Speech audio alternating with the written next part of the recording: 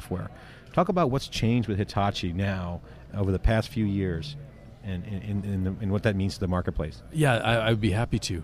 You know, um, part of it is this culture. You know, and Ishigaki-san stood up there and he talked about the excitement of the culture. You know, the synergy of getting so many great minds together right? And really pushing beyond, hey, today is a great announcement, but it's not just a storage announcement, right?